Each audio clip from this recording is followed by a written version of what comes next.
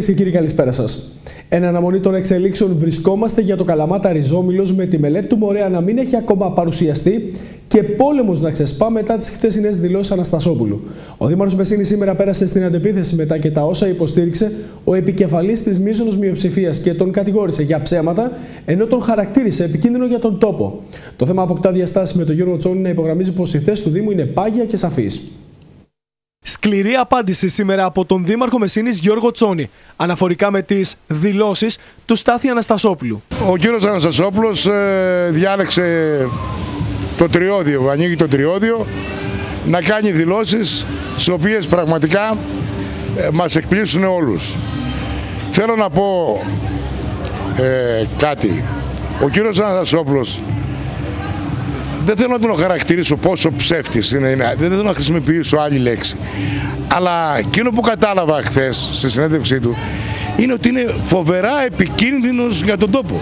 Είναι φοβερά επικίνδυνος. Εστιάζοντας κυρίαρχα στο ζήτημα του δρόμου Καλαμάτα Ριζόμιλος, ο κύριος Τσόνης σημείωσε πως η θέση του Δήμου είναι σαφής και πάγια.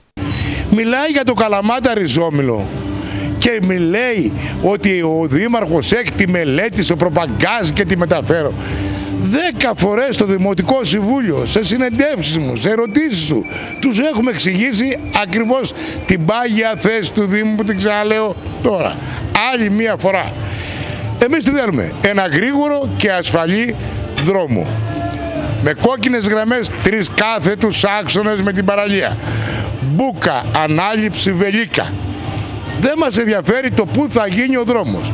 Και δεν είμαστε εμείς δεν είμαστε ο Δήμος αυτός που χαράζει την εθνική οδοποιία του κράτους. Είναι το υπέχοδε. Ο κύριος Τσόνης στην συνέχεια κατηγόρησε τον ε, επικεφαλής της μίζωνος μειοψηφίας για ψέματα.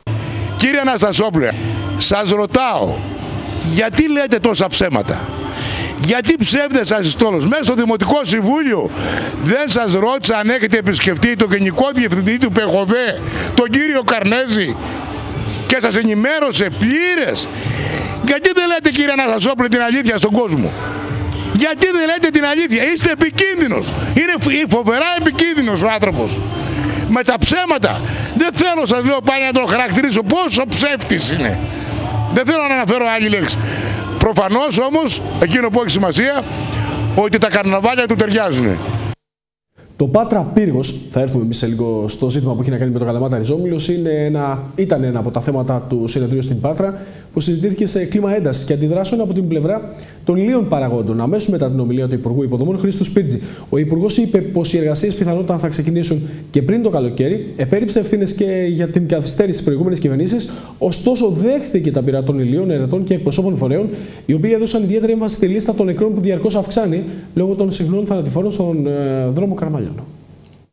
Εσείς δεσμευτήκατε ότι θα γίνουν γρήγορα οι δημοπρατήσεις και ότι το αργότερο αργότερο την άνοιξη του 16 με καλοκαίρι θα έχουν μπει οι μπολτόζες. Οδομαχία έστησαν χθες στο Περιφερειακό Αναπτυξιακό Συνέδριο της Πάτρας η αιρετή της Ηλίας με τον Υπουργό Υποδομών Χρήστος Πύρτζη με πεδίο δράσης στον αυτοκινητόδρομο Πάτρα Πύργος και την πορεία του έργου. Μαρτίου αναμένεται η οριστική απάντηση της Κομισιόν για τη χρηματοδότηση του έργου, ώστε να ανοίξει ο δρόμος για τη συμβασιοποίησή του. Παράλληλα, δήλωσε ότι εγκρίνει την πρόταση της Περιφέρειας για την άμεση επαναλειτουργία του τρένου Πάτρα Πύργος με την έγκριση της συντήρησης της μετρικής γραμμής. Καταρχάς, να πούμε ότι οι πολίτες της Ηλίας έχουν απόλυτο δίκιο. Έχουν απόλυτο δίκιο να ανησυχούν και να περιμένουν να γίνουν τόσο μεγάλα έργα υποδομών στην περιοχή τους με την επικίνδυνοτητα που έχει αυτός ο δρόμος. Απόλυτο δίκιο. Όμως οι άνθρωποι που ξέρουν, είτε είναι σε θέση ευθύνης, είτε είναι τεχνικοί, ε, οφείλουν, αν μη τι άλλο, να μην προσπαθούν να αμαυρώσουν γιατί αυτή είναι ο στόχο στη δουλειά που έχει γίνει. Φίλες και φίλοι, το Πάτρα Πύργος μετά την εξαίρεση από την παραχώρηση της Ολυμπίας Οδού είχε μία και μόνη τύχη με μαθηματική βεβαιότητα. Μία, να μην γίνει. Έπρεπε να γίνει ο φάκελος μεγάλου έργου. Δεν είχε γίνει ο φάκελος μεγάλου έργου. Διαβάζω, ας πούμε, ότι και κάποιοι δήμαρχοι εδώ είναι, πήγαν στην Ευρωπαϊκή Επιτροπή και ρώτησαν πότε κατέθεσε η διαχειριστική αρχή το φάκελο μεγάλου έργου, το τι έχει μέσα ο φάκελος μεγάλου έργου Το τι είδαν οι Τζάσπερ, τεχνική σύμβουλη της Ευρωπαϊκής Επιτροπής. Δεν το ρώτησα. Έτσι από περιέργεια. Δεν ρώτησαν ότι αν δεν είχαμε πάνω από 50% εκπτώσεις δεν θα γινόταν αυτοκινητόδρομος. Ο φάκελος από τη διαχειριστική αρχή του Υπουργείου Ανάπτυξης μετά από όλα αυτό το γολγοθά που περάσαμε για να γίνει το έργο κατατέθηκε από ό,τι ξέρω 12 Δεκεμβρίου 40-45 μέρες μετά η άλλη υπηρεσία, η ΚΕΜΚΙ από το Υπουργείο Οικονομικών έδωσε την έκκλησή της ότι δεν έχουμε κρατικές ενισχύσεις. Η ημερομηνία που έχει η Ευρωπαϊκή Επιτροπή να απαντήσει ή να μην απαντήσει είναι τρεις μήνες μετά την κατάθεση από τη Διαχειριστική Αρχή του Υπουργείου Οικονομίας. Άρα ή θα απαντήσει θετικά τις επόμενες μέρες ή δεν θα απαντήσει καθόλου μέχρι τις 12 Μαρτίου που θεωρείται θετική απάντηση για να στείλουμε και τις 8 συμβάσεις στο ελεκτικό συνέδριο μετά τον έλεγχο που θα κάνει η υπηρεσία. Η ομιλία Σπίρτζη, η οποία ήταν διανθισμένη και με αναφορές στο παρελθόν αλλά και με εχμές για τα όσα είπε η ΚΕΔΕ μετά την ενημέρωση από την Κομισιόν για τον φάκελο μεγάλου έργου προκάλεσε την έντονη αντίδραση του Δημάρχου Ποινιού Αλέξη Καστρινού, ο οποίος στην τοποθέτησή του απάντησε σε υψηλούς τόνους. Άσκησε δρυμία κριτική στον Υπουργό Υποδομών για την καθυστέρηση του έργου, επαναδιατυπώνοντας τις ενστάσεις που του μεταφέρθηκαν από την Κομισιόν για τον φάκελο του έργου. Έχει σταματήσει τη διαδικασία. Πήγαμε λοιπόν σαν ΚΕΔΕ στην Ευρώπη. Μας συγχωρείτε αν ρωτήσαμε για το που βρίσκεται το έργο. Αν θα έπρεπε να παίρνουμε άδεια, αν θα έπρεπε να μιλάμε με τους αξιωματούχους ή για οτιδήποτε άλλο. Μα συγχωρείτε. Και εγώ δεν θα κάνω λαϊκισμό. Δεν θα πω ενημερωτικά ότι όπως ερχόμαστε τώρα πριν μια ώρα στον Άραξο έγινε κι άλλο ατύχημα. Δεν θα πω τέτοια πράγματα, γιατί έχετε και τις φωτογραφίες και τις ξέρετε ότι έγινε ατύχημα. Όταν ρωτήσαμε λοιπόν τον κύριο Σλούτερς, τον Ολλανδό που μιλάει ελληνικά άπτεστα, παρουσία του Διοικητικού Συμβουλίου του Λιμπέρι που ήταν και του Προέδρου του ΣΠΕΡ του Παπαναστασίου, μας είπε ότι πριν λίγες μέρες ήρθε. Εγώ κοίταξα και διασταύρωσα από το δικό σας το Υπουργείο ότι στις 12 του μήνα ηλεκτρονικά πήγε ο φάκελος. Χριστούγεννα, ας πούμε, για παράδειγμα. Όταν ρωτήσαμε λοιπόν γιατί αργούσε η 8η εργολαβία, γιατί θα σας πω τα ερωτήματα που θα βάλει οι Ευρωπαίοι αξιωματούχοι. Γιατί είπατε εσείς ότι ο φάκελος πήγε πλήρως, την απάντηση δεν έχουμε πάρει ακόμα όμως. Και μακάρι να πάνε όλα κατευθείαν. Ειλικρινά μακάρι. Γιατί εγώ εκεί ζω και εκεί θα ζω και εκεί θα κλείσω τα μάτια μου. Δεν θα ζω ούτε στη Β' Αθηνών, ούτε πουθενά άλλου. Και η Ηλία είναι ο μοναδικός νομός της χώρας μηδέ της Βρυτανίας που βρίσκεται εκεί που βρίσκεται εξαιρουμένης που είναι αποκλεισμένη από ξηράς, αέρος, από παντού. Αυτοκινητόδρομο δεν έχει, σιδηρόδρομο δεν διαθέτει, αεροδρόμιο ε, σύγχρονο δεν έχει και θέλει να λέγεται ότι είναι ένας ευλογημένος τόπος που έχει την ευκαιρία, αν είχε τις υποδομές, να κερδίσει και την ανάπτυξη που πρέπει. Έτσι, οπωσδήποτε εμείς δεν έχουμε συμφωνήσει ούτε με την κατάρτιση ούτε με τους άλλους τρόπου διαδικασία. Παρ' όλα αυτά, επειδή διαλέξετε αυτόν τον τρόπο να κάνει, βεβαίως αναλαμβάνει μια συγκεκριμένη ευθύνη που πρέπει να καθίσετε πίσω από το έργο. Γιατί τόσο άλλων σήμερα ξέρετε πολύ καλά ότι 8 εργολαβίε σημαίνει 8 διαφορετικά προβλήματα. Στην Ηλία και είμαστε αποκομμένοι από την υπόλοιπη Ελλάδα για τον uh, τεμαχισμό της δημοκρασίας εσείς έχετε ε, τους προβληματικούς ενδιασμούς σας. Γι' αυτό το ε, κάνατε σε 8 εργολαβίες, πριν όμως τώρα δεν μπορούμε να το αλλάξουμε. Δημοπρατήθηκαν, να δημοπρατηθεί και στις 14 και τελευταία να μην γίνει ούτε η περιμετρική της Πάτρας που έγινε κάνα 17 χρόνια, ούτε ο άλλος ο δρόμος στην Ευρακία όπως είπαν κάποιοι προβαλήσαντες. Σε αυτό το ρεπορτάζ ουσιαστικά είδαμε και την διάσταση των αυτοδιοικητικών παραγόντων αλλά και των ανθρώπων του τόπου που ζουν καθημερινά το πρόβλημα. Πάμε να τα συνδυάσουμε και τα δύο και να τα σχολιάσουμε μαζί με τον συνάδελφο τον Κώστα Τσερετζούλια. Καλησπέρα, Κώστα. Καλησπέρα. Λοιπόν, καταρχήν, έχουμε μια ιδιαίτερη ένταση όσον αφορά τα ζητήματα που εκκρεμούν σε επίπεδο ενδομεσηνιακού οδικού δικτύου. Και αυτό βρίσκει αναφορά σίγουρα και στο Καλαμάτα Ριζόμιλος. Γιατί; Μιλάμε για μια εκτός ορίων καθυστέρησης με βάση τουλάχιστον τις δεσμεύσεις που είχαν ακουστεί, με βάση τις μελέτες που θα είχαν παρουσιαστεί και με βάση τα δεδομένα που δεν υπάρχουν για τον δρόμο αυτό. Μπορεί να περιμένουμε το τι θα γίνει με την δέσμευση χρηματοδότησης, αλλά μέχρι τώρα δεν υπάρχει κάτι νεότερο. Και αυτή η καθυστέρηση έχει επιφέρει και το δεύτερο θέμα που θα σχολιάσουμε σε λίγο. Κοιτάξτε να δεις. Το γεγονός ότι τρία χρόνια με την κυβέρνηση του ΣΥΡΙΖΑ, γιατί πλέον δεν υπάρχουν δικαιολογίες οι προηγούμενοι, οι προπροηγούμενοι και όλα τα υπόλοιπα που πολλές φορές και ως καραμέλα δημιουργούν έτσι μια άλλη αίσθηση. Τρία χρόνια. Έχουν πάρει οι άνθρωποι μια συγκεκριμένη απόφαση. να πάνε με μια άλλη μελέτη τη στιγμή που θα μπορούσαν να χρηματοδοτήσουν την ήδη έτοιμη, ολοκληρωμένη μελέτη και με ΜΠΕ από την παραλ... με την παραλιακή χάραξη και να ολοκληρωθεί το ζήτημα. Δεν θέλανε να χρηματοδοτήσουν αυτοί και θέλανε να πάνε σε μια άλλη λύση. Καλώς θέλανε να πάνε, θα το δείξει η ιστορία. Προτείνανε λοιπόν και είχαν πει, για να τα πω πολύ συνοπτικά. Πάμε σε νέα χάραξη. Τρία χρόνια θέμη τώρα, το μόνο πράγμα που έχουμε από τη συγκεκριμένη κυβέρνηση είναι λόγια και υποσχέσεις. Τίποτα άλλο.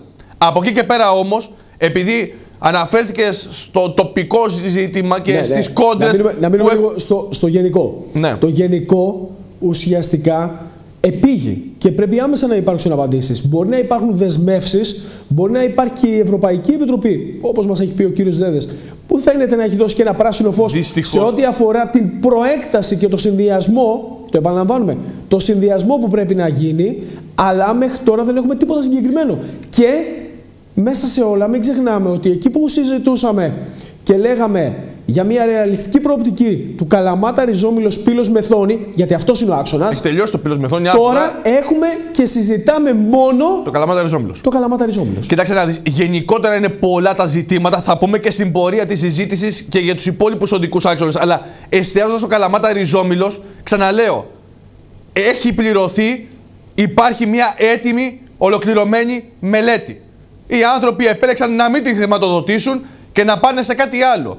Τρία χρόνια εμπέζουν τους Μεσσηνίους, εμπέζουν την περιοχή και τους φορείς, καθώς το μόνο που έχουμε είναι λόγια, δεσμεύσεις και δεν ξέρω και εγώ τι άλλο. Θα, κάποια στιγμή θα έρθει μία μελέτη.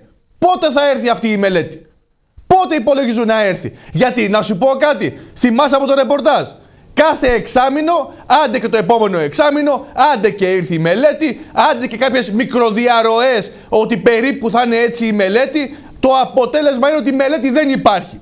Και επίσης, από την άλλη πλευρά, το μόνο επίσης σίγουρο που έχουμε είναι οι θέσεις των αυτοδιοικητικών παραγόντων της περιοχής. Διότι ανεξάρτητα από αυτά που θα λέει η μελέτη όταν και εφόσον θα έρθει, υπάρχουν αποφάσεις συγκεκριμένες των Δημοτικών Συμβουλίων που μέχρι στιγμής, με τα δεδομένα τα σημερινά, δεσμεύουν. Ναι. Όταν θα έρθει η νέα μελέτη, θα πρέπει να περάσει και πάλι τα Δημοτικά Συμβούλια. Να έχουμε νέα δεδομένα, Νέες αποφάσεις, νέες νέες αποφάσεις εκκλήσεις και, και- νέες καθυστερήσεις. Ναι. Το ζήτημα είναι ότι Ανεξάρτητα επειδή από είπες αυτό και για ότι την έπρεπε να ΕΤΕΠ, τρέξουν όλα αυτά γρήγορα, αυτό όμως έχει διαμορφώσει και ένα κλίμα έντασης σε τοπικό επίπεδο. Προφανώς. Είδαμε τις χθεσινές ουσιαστικά αναφορές του κ. Αναστασόπουλου και τη σημερινή σκληρή απάντηση από τον Δήμαρχο Μεσίνη, τον Γιώργο Τσόνη. Ναι, σε, σε τοπικό επίπεδο προφανώς και θα δημιουργηθούν κόντρες και εντάσεις και πολλές φορές και στο κομμάτι της, αν- το αντιπολιτευτικό θα επιχειρηθούν διάφορα. Αλλά όλα αυτά πηγάζουν από την καθυστέρηση της κυβέρνησης. Από το γεγονός ότι έχει εγκλωβίσει μια περιοχή. Δεν ξέρουν ούτε οι ίδιοι στο πού περίπου βαδίζουν, διότι αν δεν πάρουν τη μελέτα, την έχουν σ- με δεδομένα συγκεκριμένα, τι να κάτσουν να πούν και να αποφασίσουν. Έχουμε ακούσει όμως, για να πάμε στο δεύτερο στάδιο, τις τοποθετήσεις όχι μόνο των παραγόντων της Μεσίνης, αλλά σχεδόν του συνόλου της περιοχής που ε, έχουν να κάνουν με τον δρόμο, από την Πύλα, από την Καλαμάτα. Ναι. Υπάρχουν οι θέσεις. Τι να το κάνεις άμα δεν έχεις τη μελέτη όμως; Λοιπόν, σημειώνουμε πάντως ότι υπάρχουν οι θέσεις και η σημερινή Δημοτική Αρχή έχει ξεκάθαρη θέση και στάση. Και αυτή την ε, αρχή ουσιαστικά ο κύριος Τσόνη σήμερα υποστήριξε από την πλευρά του. Ο κύριος Αναστασόπουλος. Εγώ έχω την αίσθηση. Μισό λεπτό. Ο κύριος Αναστασόπουλος μίλησε για κάποιες υπόνοιες. Καλό είναι και ο κύριος Αναστασόπουλος να πει τα πράγματα με το όνομά τους εφόσον υπάρχουν συγκεκριμένα στοιχεία. Και νομίζω ότι στη συγκεκριμένη περίπτωση αυτό που όπως είπες και εσύ πολύ σωστά Αντίπαλοι δεν είναι, δεν είναι οι τοπικοί παράγοντες μεταξύ τους. Αυτή τη στιγμή θα πρέπει όλοι μαζί να είναι ενωμένοι απέναντι στην εκάστοτε κυβέρνηση. Γιατί αυτή τη στιγμή η Μεσίνη θέλει έναν δρόμο. Τελείωσε. Συμφωνούν όλοι σε αυτό. Πάντως το είχαμε πού μια- θα γίνει ο δρόμος είναι ένα δεύτερο κομμάτι το οποίο όμως αυτή τη στιγμή πρέπει να δώσει λύση η κυβέρνηση. Πάντως για τη στρατηγική του Δήμου Μεσίνης είχαμε μια καταλητική απάντηση σήμερα από τον Γιώργο Τσόνη ανεξάρτητα από την υπόλοιπη ε, σκληρή επίθεση Έχει εκφραστεί όμως στο και πάλι. εσωτερικό Είναι πεδίο. και αυτό που υπόθηκε σήμερα και αυτό που υπόθηκε χθε. Έχει ξανα, έχουν ξαναυποθεί αυτά τα πράγματα. Και έχουν Πα- υποθεί και στα δημοτικά συμβούλια. Είναι μια επανάληψη. Καλό είναι να υπάρχει επανάληψη. Και να σου πω κάτι, δεν ξέρω μήπως και όλα αυτά γίνονται και εν ώψη του περιφερειακού συνεδρίου του Αναπτυξιακού. Πάντως- Ναι. Μήπως τυχόν, μήπως τυχόν, έτσι, και ο κύριος Τσίπρας θελήσει α, με τις εισηγήσεις που θα πάρει να ανακοινώσει κάτι και για το κομμάτι αυτό. Για το Θα τα δούμε αυτά. Ωστόσο, εκείνο που παραμένει σε κρεμότητα είναι το Πάτρα Πύργος, που ενδεχόμενα να ξεκινήσει πριν το καλοκαίρι, έτσι όπως είπε ο κ. Πίρτζη. Ωστόσο, οι ήλιοι παράγοντες που γνωρίζουν πολύ καλά την πραγματικότητα, τους ακούσαμε βολή κατά βολή ουσιαστικά Ακριβώς. για τα όσα δεν έχουν Γιατί γίνει. Και, αυτοί... και υπάρχει κάτι πολύ κρίσιμο και κάτι πολύ σημαντικό. Μέχρι τώρα, γιατί αφορά τη Δυτική Ελλάδα και το τοξο που συνδέει τη Μεσσηνία με τη Δυτική Ελλάδα και ολόκληρη τη χώρα, μέχρι τώρα δεν έχει ακουστεί κουβέντα κιχ για το καλό νερό τσακώνα που αποτελεί τη φυσική απόλυξη του αυτοκινητόδρομου της Ολυμπίας Οδού. Ακριβώς. Και καλά κάνεις και το θέτεις. Θα, θα ήταν το πρώτο πράγμα που θα σχολίαζα. Πρώτα απ' όλα οι άνθρωποι της Ηλίας καλά κάνουν και ανησυχούν γιατί τόσα χρόνια και αυτοί τους έχουν φλωμώσει στις υποσχέσεις και γνωρίζουν όλη την κατάσταση που επικρατεί. Άρα, καλά κάνουν και κάθονται σε αναμένα κάρβουνα, γιατί ποτέ κανείς δεν ξέρει το τι θα εξελιχθεί και με, με το συγκεκριμένο έργο. Από εκεί και πέρα όμως, θα πρέπει να πούμε ότι ούτε μία αναφορά για μία ακόμα φορά δεν υπάρχει για το τι θα γίνει από τον πύργο και κάτω. Και μέχρι την τζακώνα. Θα μου πεις, αφορά κυρίαρχα και την πλευρά την δική μας, της Πελοποννήσου. Θα το δούμε το πώς θα τεθεί όλο αυτό το ζήτημα στο δικό μας αναπτυξιακό συνέδριο. Μισό λεπτό. Γιατί Μισό λεπτό. Αν θυμάμαι καλά, πάντως η Περιφερειακή Αρχή και ο κύριος Νατούλη και η κυρία Νικολάκου. Θα πηγαίνανε και στις Βρυξέλλες. Ναι. ναι. Είχαν κάνει δηλώσεις σε υψηλούς τόνους ε, και στο παρελθόν και στις σκέψει που είχαν γίνει και στην Ηλία ότι τέλος πάντων θα διεκδικούσαν με μεγαλύτερη ένταση το συγκεκριμένο στην, θέμα. Στην ουσία, την του. δεν υπάρχει θέμα συζήτηση αυτή τη στιγμή. Δυστυχώς, δυστυχώς, όλοι το προσπερνούν. Έχουν μείνει στο Πάτρα Πύργος, γιατί είναι αυτό που καίει αυτή τη στιγμή. Ο το προσπερνούν. Ο κύριος Κατσιφάρας πάντως μίλησε μέχρι την τζακώνα. Ναι, αυτό είναι αλήθεια. Ο κύριος Κατσιφάρας διεκδικεί περισσότερο από ό,τι διεκδικούν οι δικοί μας αυτοδιοικητικοί. Και να σου πω και κάτι ακόμα. Επειδή το έχουμε παρακολουθήσει και από το ρεπορτάζ εν ώψη του αναπτυξιακού συνεδρίου που έγινε στην Πάτρα, είδαμε την ένταση και τον συντονισμό των φορέων και των τοπικών αυτοδιοικήσεων όλων των χρωμάτων προκειμένου να προωθήσουν ζητήματα που έχουν να κάνουν με τον τόπο τους. Σε, αντί, σε, σε αντίθεση με τους δικούς μας, πλησιάζει το αναπτυξιακό συνέδριο, εκτός και έχουμε λύσει τα προβλήματά μας όλα, δεν έχω δει καμία έντονη κινητικότητα για το πώς θα συντονίσουν την δράση τους, για το τι και, πώς, και τι ναι. προτεραιότητες θα βάλουν και πώς θα τον διεκδικήσουν και όλα αυτά. Δεν ξέρω. Αυτό εγώ το καταθέτω. Θα το δούμε και τις επόμενες ημέρες γιατί πλησιάζει ο καιρός. Οι άνθρωποι, οι μεν διεκδικούν, οι δε να μιλήσει μάλλον περισσότερα. Να το δούμε. Οι δε φωνάζουν στο τέταρτο όροφο της Νομαρχίας. Να. Κώστα, να σε ευχαριστήσουμε. Συνεχίζει να τρέφει ελπίδες ο Δήμος Καλαμάτα για το στρατόπεδο, αφού σύμφωνα με τα όσα βγαίνουν από την απάντηση Καμένου σε Δαβάκη και ανάγνωση ο Παναγιώτης Νίκας, φαίνεται πως δεν έχουν ληφθεί ακόμα οι οριστικές αποφάσεις. Πρόθεση είναι να υπάρξει άμεσα συνάντηση με τον Υπουργό Εθνικής Άμυνας, προκειμένου να ξεκαθαριστεί το τοπίο για το τι μέλη γενέστε με το ιστορικό στρατόπεδο στην ολιβάση της αναδιάρθρωσης που έχει αναγγελθεί και προχωρά. Αισιοδοξεί ο Δήμος Καλαμάτας σε ό,τι έχει να κάνει με το θέμα του στρατοπέδου. Ο Παναγιώτη Νίκας αναμένει τη συνάντηση με τον Πάνο Καμένο, προκειμένου να υπάρξουν επίσημες ανακοινώσεις και να ξεκαθαριστεί το όλο ζήτημα. Εγώ έχω ζητήσει μια συνάντηση ε, είτε με τον Υπουργό Εθνικής Αμήνης, τον κύριο Καμένο, είτε με τον αναπληρωτή Υπουργό, τον κύριο Βίτσα. Ε, αυτά τα οποία είπε ο Υπουργός Εθνικής Αμήνης προς τον βουλευτή Λακωνίας, τον κύριο Δαβάκη, ε, είναι, τα αξιολογούμε ως ε, σημαντικά διότι φαίνεται ότι δεν έχει ληφθεί καμία τελική απόφαση όσον αφορά το κλείσιμο των στρατοπέδων. Υπάρχει μια έτσι, γενική προσέγγιση στο θέμα, αλλά ε, με ακρίβεια δεν μπορεί να υποθεί κάτι. Αυτό άλλωστε τόνισε ο Υπουργός στην απάντηση προς τον κύριο Δαβάκη.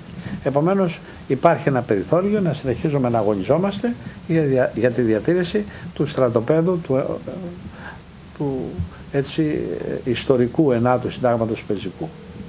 Δεν αγωνιζόμαστε μόνο για οικονομικούς λόγους, αγωνιζόμαστε για ιστορικούς λόγους, γιατί οι περιοχές δεν μπορεί και δεν πρέπει να αποκόπτονται από την ιστορία τους, από την παράδοσή τους, από τους ηρωικούς τόπους τους και το ένατο σύνταγμα πεζικού είναι για μας δεκά, δεκαετίες ολόκληρες, οι παππούδες μας, προπαππούδες μας από εκεί ξεκίνησαν, ε, και επομένως ο αγώνας μας έχει αυτό το περιεχόμενο. Αλλάζουμε θέμα και κλίμα και περνάμε στα της ημέρας. Εικόνες όμορφες και διαφορετικές, με ξεχνιασιά σήμερα σε κάθε γωνιά. Στη Μεσίνη το φετινό καρναβάλι ξεκίνησε με πολλή μουσική και τα κεράσματα που επιβάλλει η ημέρα. Ικανοποίηση και κάλεσμα και από το Δήμο για συμμετοχή σε επικείμενες εκδηλώσεις.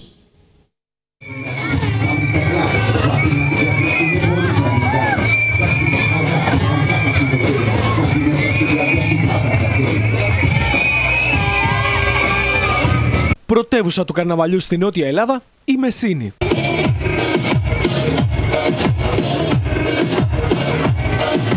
Σήμερα ουσιαστικά ξεκινάει το καρναβάλι μας και θα έχουμε πολλές εκδηλώσεις οι οποίες ο κόσμος πρέπει να έρθει να τις δει γιατί βασίζονται πάνω στην παράδοση. Το κλίμα σήμερα στους δρόμους της πόλης ήταν ξεχωριστό και φυσικά εορταστικό.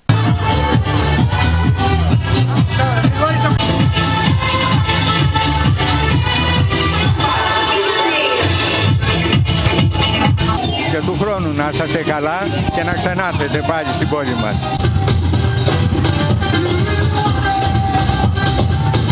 Πιστεύω ότι είναι κάτι καλό για το Δήμο σας. Έχει κόσμο, έρχεται κόσμος από τα γύρω μέρη. Υπάρχει γλέντι, χαρά αυτές τις μέρες κιόλας. Το τσιγάρο του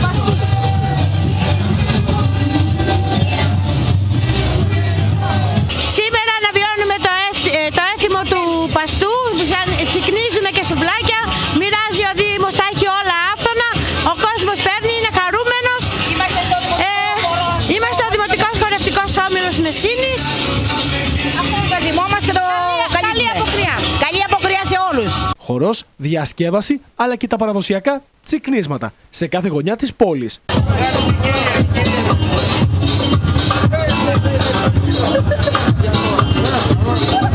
Στη δημοτική κοινότητα με το Δήμο Μεσίνης και με τη βοήθεια του Πολιτιστικού Σύλλογου Βελίκας διοργανώνει κάθε χρόνο τη γιορτή για την Τσικνοπέμπτη με σουβλάκια, λουκάνικα, παστό και κα- έχουμε καλέσει όλο τον κόσμο να έρθει να τον κεράσουμε και να περάσουμε καλά. Ο κόσμος ανταποκρίνεται μέχρι στιγμής τουλάχιστον και τον καλούμε να έρθει και στις φωτιές μας καθώς και στη μεγάλη καρναβαλική παρέλαση την Καθαρά Δευτέρα.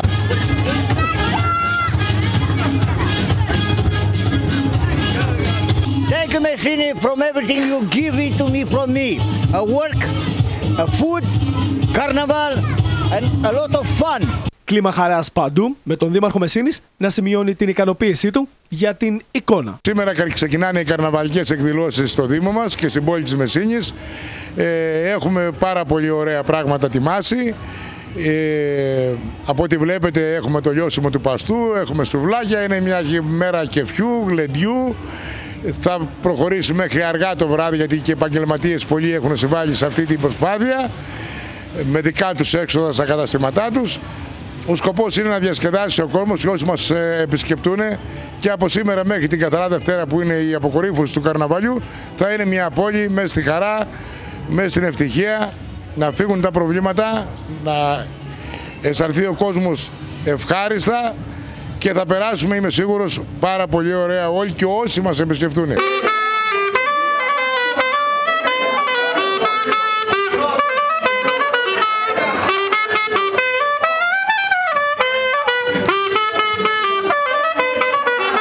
Όμορφες στιγμές και στο καπί του Δήμου Μεσίνης. Ε, Εδώ ε, περάσαμε πολύ καλά, ήταν όλα είχαν σειρά καλή, όλα πήγανε καλά, τα σουβλάκια ήταν καλά ψημένα, ε, οι μπριτζόλες, οι μπριτζόλες πολύ καλύτερα.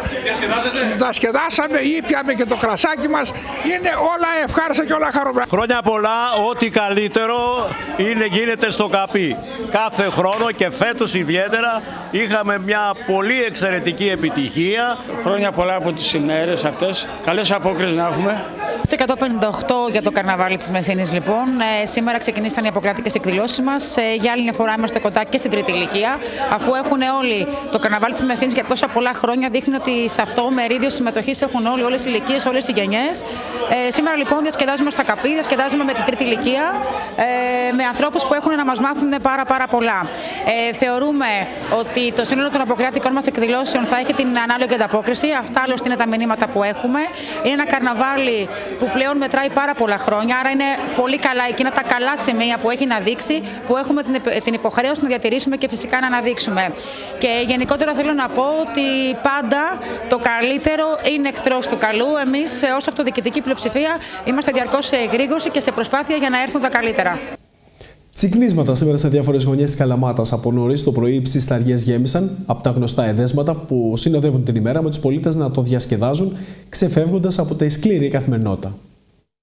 Στην ερώτηση ποια είναι η αγαπημένη σας γιορτή, πολλοί είναι εκείνοι που θα απαντούσαν η Τσικνοπέμπτη.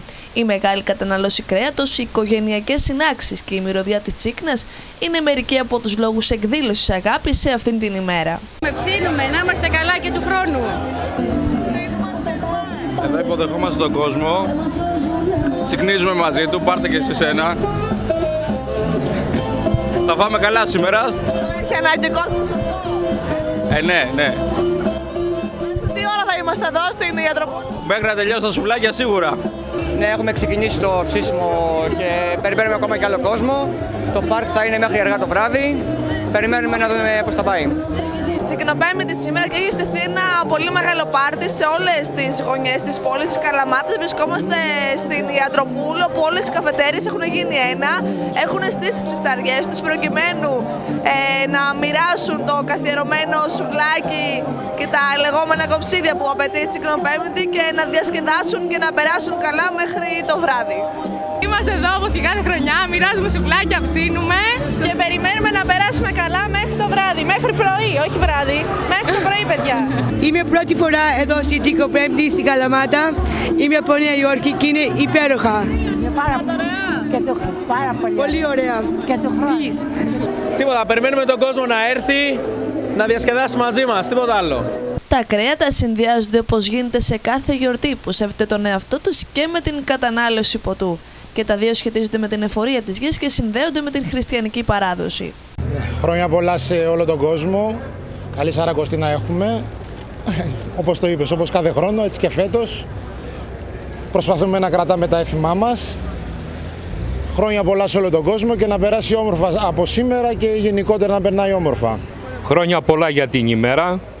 Άλλωστε ο ελληνικός λαός πάντα ήταν επιρρεπής προς τον άρτον ίνων και θεάματα. Πολύ πιο περισσότερο πέραν των άρτων ίνων και θεαμάτων έχουμε και την Οβάρτης και ξέχασαν τα εθνικά θέματα.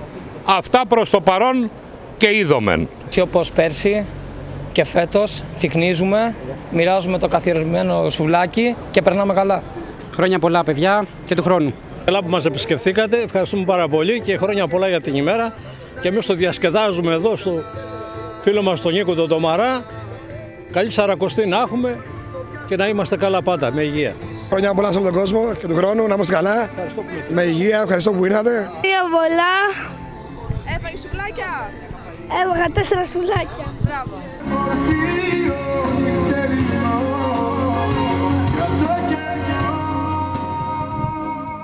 Και στην κεντρική αγορά της Καλαμάτας σήμερα το κλίμα ήταν γιορτινό. Ψισταριές παντού με τους πολίτες να απολαμβάνουν τα όσα προσφέρονταν σε μια ακόμα γιορτή που είχε καθιερωθεί τα τελευταία χρόνια και που στο επίκεντρο είχε τα κρεοπολία της ΚΑΚ.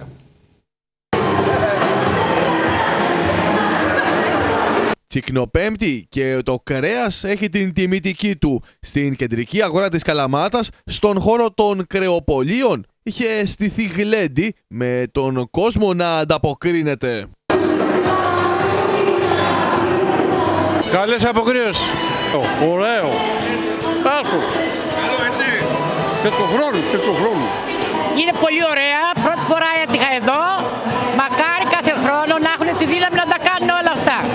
Υγεία πρώτα και ηρεμία. Τα χαρά, τα χαρά, να είναι καλά. Μια χαρά. Υγεία σε όλο τον κόσμο. Ε, να είναι καλά. Να έχει να τρώει ο κόσμος, να έρθουν καλύτερες μέρες, να ανοίξουν οι δουλειές, να κινηθεί η αγορά για να πάμε μπροστά. Χρόνια πολλά σε όλο τον κόσμο, καλές απόκριες. Την Πέμπτη σήμερα στην αγορά, στο, στο χώρο των κρεοπολίων που είναι ο φυσικός χώρος του κρέατος. Απολαμβάνουμε την ημέρα με χαμόγελα, με θετική διάθεση και ενέργεια, με κεράσματα στα κάρβουνα, με κρασί, με χορούς ε, και περνάμε πανέμορφα. Όπως είπαμε, στόχος μας είναι να, κάνουμε, να καταστήσουμε την αγορά επίκεντρο μιας ευρύτερης συλλογικής ε, συνείδησης και άποψης των καταναλωτών. Και βέβαια δεν τελειώνουμε εδώ σήμερα, έχουμε και αύριο. Έχουμε και αύριο σε 7 το απόγευμα στο χώρο των βιολογικών προϊόντων όπου θα ετοιμάσουν οι, οι, οι λέσχοι διευθυντών αρχιμαγείρων Ελλάδος μια special πικάντικη μακαρονάδα με καλαματιανά προϊόντα, αλλά θα έχουμε και τον κλόν Βούλη με την παρέα του για να ψυχαγωγήσουν μικρούς και μεγάλους που θα έρθουν εδώ για να παρακολουθήσουν την εκδήλωση. Και έχουμε και στις 17 το Σάββατο άλλη εκδήλωση, αυτά θα τα πούμε παιδιά. Για την ώρα απολαύστε και εσείς την ημέρα εδώ σε αυτό εδώ το χώρο. Όπως βλέπετε περνάμε υπέροχα. Τα κρεοπολία είχαν σήμερα την τιμητική τους με τους καταναλωτές να προμηθεύονται τα απαραίτητα για το τραπέζι της Ικνοπέμπτης. Μια μεγάλη ποικιλία κρεάτων για όλα τα γούστα και σε προσιτέ τιμές με τους καταναλωτές να τιμούν τη σημερινή παράδοση. Τσικλοπέμπτη και τα κρέατα είχαν την τιμητική τους. Θέλω να ευχηθώ χρόνια πολλά σε όλο τον κόσμο. Ε, σήμερα Τσικλοπέμπτη ο κόσμος διασκεδάζει. Η κίνηση στο κατάστημα μας είναι πάρα πολύ καλή. Ο κόσμος ε, έχει αναγνωρίσει τα, την ποιότητα των προϊόντων μας. Ε, δόξα τω όλα, όλα πάνε πολύ καλά.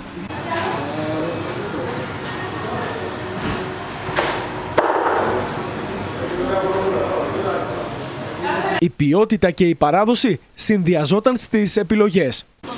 Βεβαίως. Ε, την τιμητική τους έχουν τα λουκάνικα, τα, οι πανσέτε, οι μπριζόλες, ε, γενικώς όλα αυτά που είναι για τα κάρβουνα.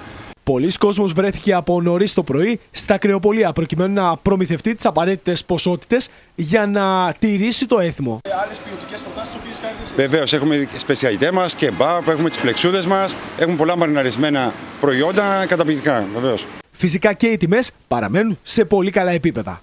Και οι τιμές; Οι τιμές είναι πάρα πολύ καλές. Συγκριτικά και με την ποιότητα την οποία έχουμε εμείς, είναι πάρα, πάρα πολύ καλές.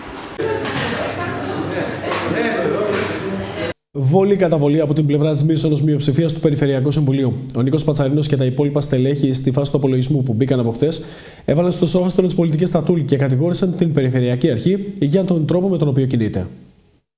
Περίοδος απολογισμού για την παράταξη Πελοπόννησος πρώτα. Έχει να κάνει με το αξιακό και το ιδεολογικό υπόβαθρο της παράταξης.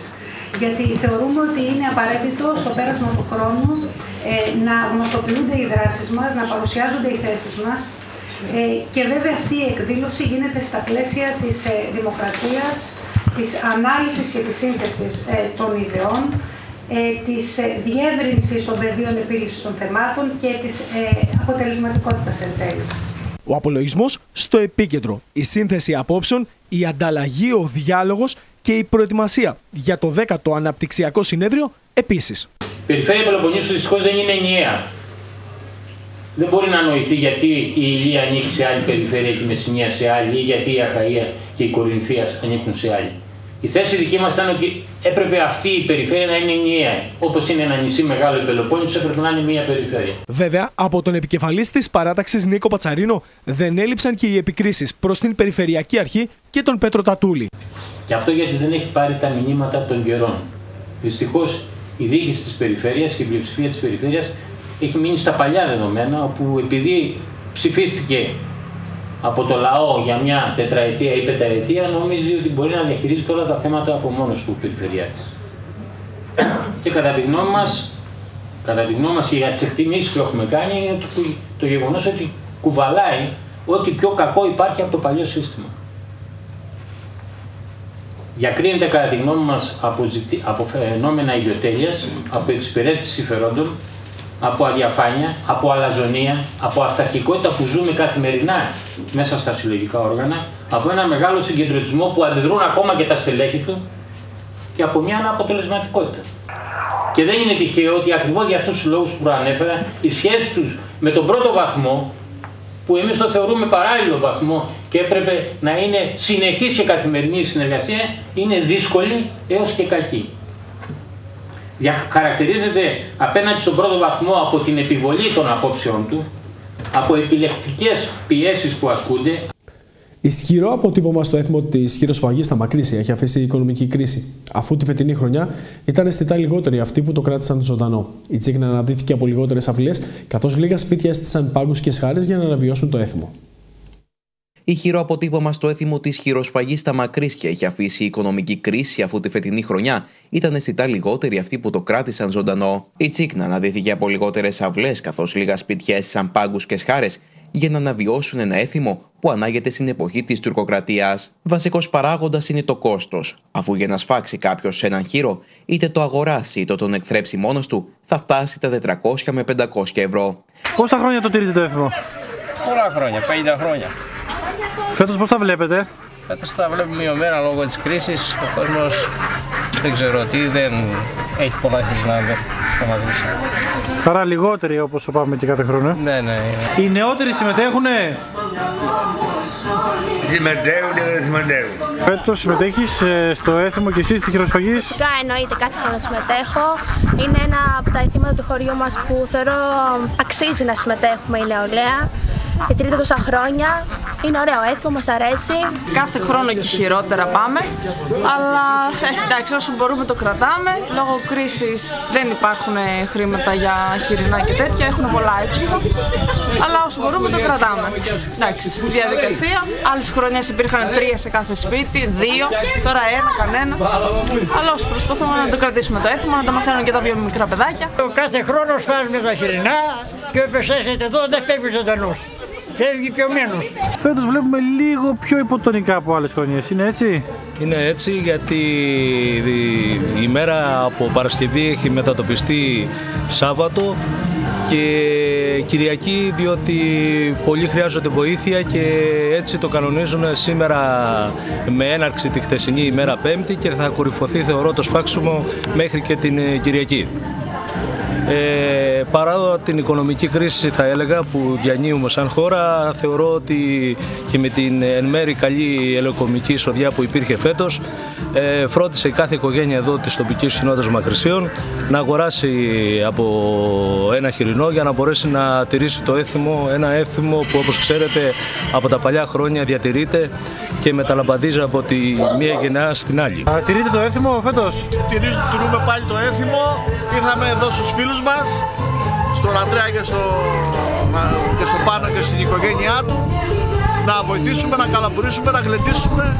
Πώς είναι φέτος τα, το έθιμο, γιατί είδαμε ότι η κίνηση είναι περιορισμένη στο χωριό. Πολύ περιορισμένη, σχεδόν καθόλου. Του χρόνου ζήτημα θα έχουμε ένα 5%. Ε, εντάξει, έχει επηρεάσει πολύ η κρίση.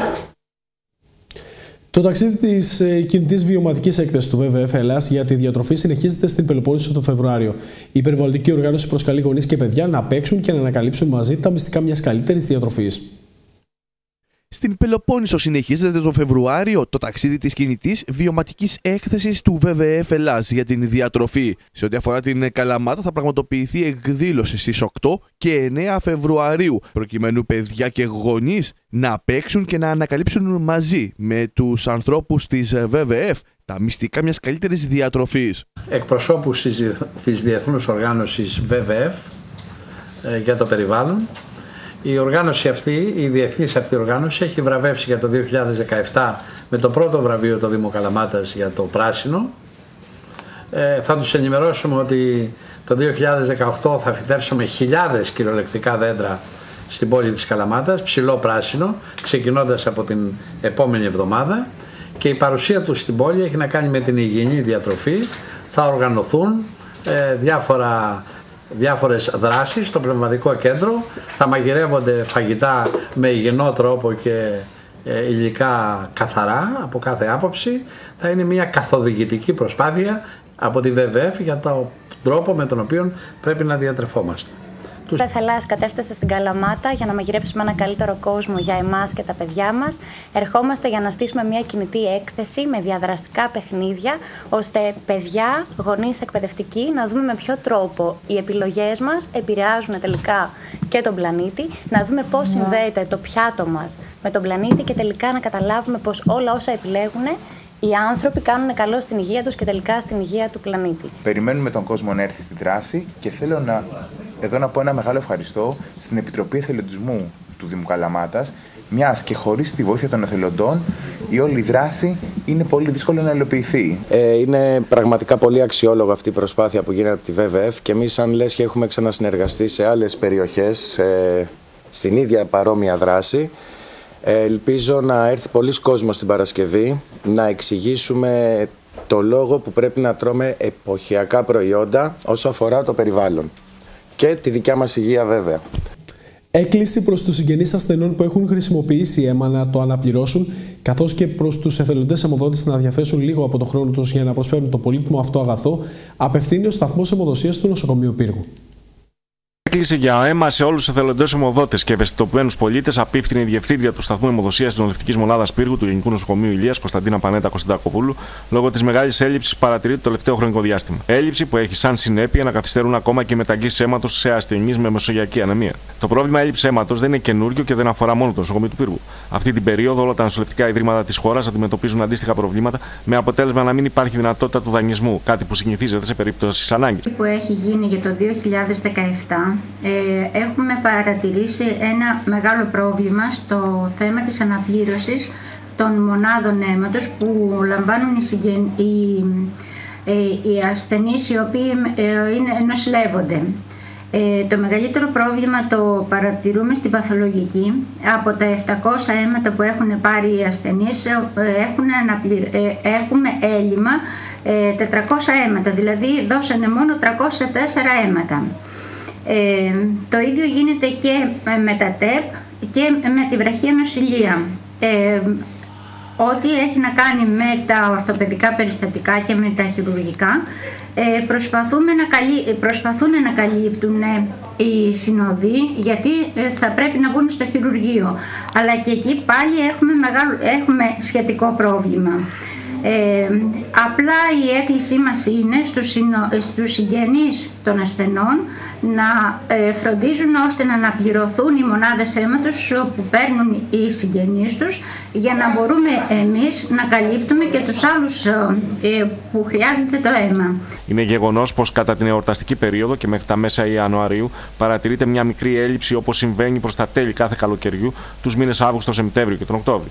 Φέτος όμως, παρότι έχουμε μπει στο Φεβρουάριο, η έλλειψη εξακολουθεί να υφίσταται με αποτέλεσμα να υπάρχει σοβαρός κίνδυνος αδυναμίας κάλυψης έκτακτων περιστατικών που απαιτούν μεγάλο αριθμό μονάδων. Η έλλειψη αίματος δημιουργεί προβλήματα και για τους πολυμεταγγιζόμενου ασθενείς, μεταξύ των οποίων οι 19 ασθενείς με μεσογειακή ανεμία που έχουν ως νοσοκομείο αναφορά στο νοσοκομείο του πύργου λόγω της έλλειψης αίματος αναγκάζονται να μπαίνουν σε αναμονή για να μπορέσουν να μεταγγιστούν. Απευθύνουμε έκκληση στους συνοδούς των ασθενών να αναπληρώνουν τις μονάδες αίματος που χορηγούνται στους οικείους τους. Εμείς φροντίζουμε σε κάθε περίπτωση να καλύπτουμε τις ανάγκες μας με διάφορους τρόπους, όμως ε, θεωρούμε ότι χρειάζονται και οι συγγενείς και οι συνοδοί των ασθενών να συμμετέχουν σε αυτή τη διαδικασία ε, διευκολύνοντας ε, το έργο μας ε, και ταυτόχρονα δημιουργώντας και ένα απόθεμα ε, για τις μελλοντικές ανάγκες. Από τα τέλη του χρόνου και σε καθημερινή βάση, οι εργαζόμενοι στο σταθμό αιμοδοσίας επικοινωνούν τηλεφωνικά με τους ομοδότες από το Μητρό Εθελοντών που δεν έχουν αιμοδοτήσει τους τελευταίους μήνες, ζητώντας τους να αφιερώσουν λίγα λεπτά από το χρόνο τους για να δώσουν μια μονάδα αίματος, η οποία ειδικά αυτές τις μέρες είναι κάτι παραπάνω από πολύτιμη.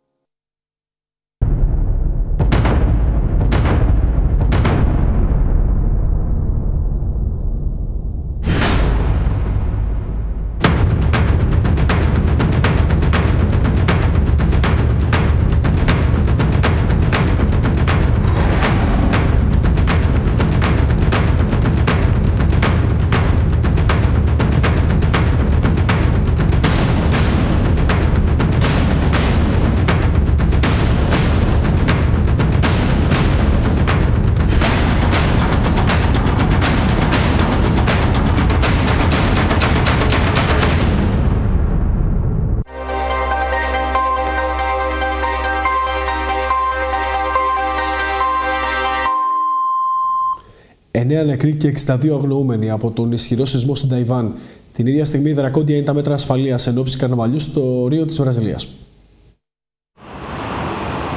Περισσότεροι από 3.000 στρατιώτες και αστυνομικοί έχουν αναπτυχθεί στην αποκαλούμενη φαβέλα του Θεού στο Ρίο Ντετζανέιρο λόγω κρουσμάτων βίας. Τα δρακόντια μέτρα ασφαλείας ελήφθησαν δύο ημέρες πριν ξεκινήσουν οι περιβόητες καρναβαλικές εκδηλώσεις στο Ρίο. Οι αρχές ανακοίνωσαν ότι δεκάδες άτομα συνελήφθησαν ύστερα από επιδρομές σε περιοχές που ελέγχονται από κυκλώματα πάνωπλων εμπόρων ναρκωτικών. Την περασμένη Τρίτη, τουλάχιστον δύο άνθρωποι σκοτώθηκαν κατά τη διάρκεια επιχείρησης της αστυνομίας. Ένα από τα θύματα ήταν ένας έφηβος που έπαιζε ποδόσφαιρο. Από πέρσι, οι ένοπλες δυνάμεις της Βραζιλίας αναπτύχθηκαν στο Ρίο για να βοηθήσουν τη δράση της αστυνομίας. Την περίοδο του καρναβαλιού με τις εντυπωσιακές χορεύτριες Σάμπα, το Ρίο προσελκύει περίπου 1,5 εκατομμύριο τουρίστες από όλο τον κόσμο. Υπό τον φόβο των συνεχών μετασυσμών συνεχίζουν το έργο τους τα σωστικά συνεργεία στην πόλη Χουάλιεν της Ταϊβάν. Η σεισμική δόνηση 6,4 βαθμών της κλίμακας Ρίχτερ είχε ως αποτέλεσμα τουλάχιστον 9 άνθρωποι να χάσουν τη ζωή τους και άλλοι 265 να τραυματιστούν. Ο αριθμός των αγνοωμένων φτάνει τους 62. Οι άνδρες των σωστικών συνεργείων συνεχίζουν για τρίτο 24ωρο την αναζήτηση τυχών επιζώντων στα ερήπια των τεσσάρων κτηρίων που κατέρευσαν ολοσχερός. Οι αρχές εκτιμούν ότι οι περισσότεροι από τους αγνοούμενους βρίσκονται παγιδευμένοι σε μια 12όροφη πολυκατοικία που πήρε κλίση 45 μοιρών.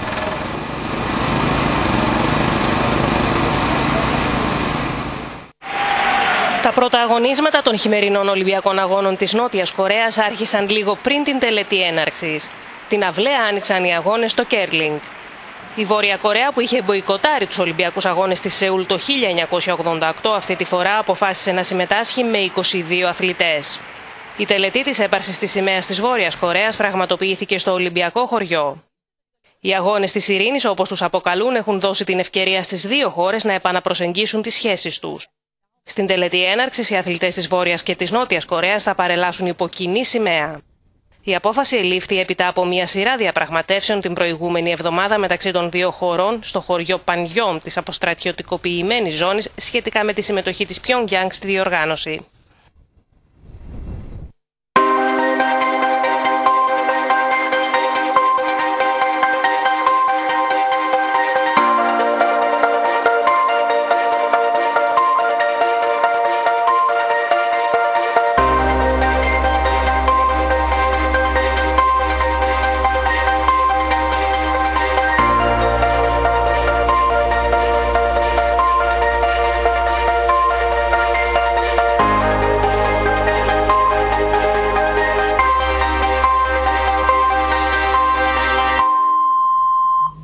Και στο σημείο αυτό, κυρίες και κύριοι, ολοκληρώθηκε το κεντρικό βελτίο ειδήσεων από την τηλεόραση West. Από όλους όσους και σήμερα εργάστηκαν για την ενημέρωσή σας, καλή σας νύχτα.